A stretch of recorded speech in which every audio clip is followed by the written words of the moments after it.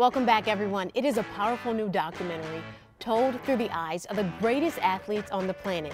In Search of Greatness opens in theaters nationwide next month. Joining us live in studio is award-winning filmmaker and director writer Gabe Polsky. Thanks so much for being here with yeah, us this I'm morning. Excited. We're excited. Uh, we know this film uh, is something you've wanted to do for decades. How did you know this was something you wanted to do? Well, I've always been, you know, cur curious about these questions about what is greatness and, and how it can be cultivated and achieved. You know, I, I grew up playing competitive sports and ended up playing um, college hockey at Yale, and and you know, I was always, you know, very curious kid, and and sort of was questioning uh, why things were done a certain way in youth sports, and and um, you know, who who was achieving success or greatness and who wasn't, and why, and and I think that's a question that so many people have, so many people can relate to, because if you look in any field, there's someone who's going to soar above others. What makes someone great? What did you find? Well, what I found was actually quite surprising is that, you know, the greatest athletes of all time who are featured in my film uh, are not sort of who you'd think would be the greatest.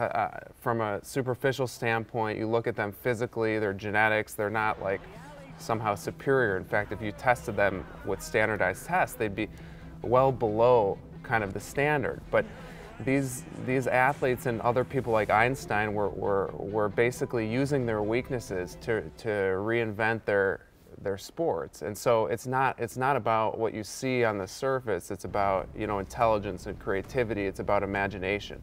We're looking at video right now of Serena Williams. We saw Muhammad Ali. And this film, which is about an hour and 19 minutes, it explores everything from upbringing uh, to coaching and to genetics. Aside from the athletes not being maybe the smartest, what else stood out to you? Well, one really important factor is that greatness cannot be like manufactured. It can't be forced. And you know, one issue that we're seeing in society today is that a lot of kids are, are, are being forced. There's a lot of pressure to succeed and, and, and we find that in the greatest athletes of all time, they never have to be pushed to do anything. It's, it's inside of them, this joy for what they're doing, and, and it's that joy that is really basically the bedrock of, of greatness. And so instead of, you know, making kids do things, you know, we should just basically try and understand who they are and what they, what they like to do. Is this and, a film you would like children to see? Absolutely. I, I want, you know, I think parents, coaches, kids, this film transcends sport, so anyone, I think it's a film you want to see with a group, and, and there's so much to talk about afterwards. There's so many lessons in this film. It's a film about life, and uh, I, so we're, we're basically, you know, we're selling tickets now and hoping people go in groups. And before we let you go, as of this moment at 11:14 a.m., what is your greatest achievement? Well, that's a great question. I think uh,